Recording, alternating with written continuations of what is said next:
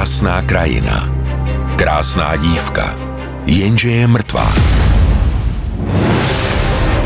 Ti není ani 20. Tenhle nebrzdil vůbec. Jakože jsi srazil schválně? Myslím, že tu máme vraždu. Auto byste měl mít zajištěné proti krádežím. Teď je to stará kraksna. Pardon. Policie České republiky.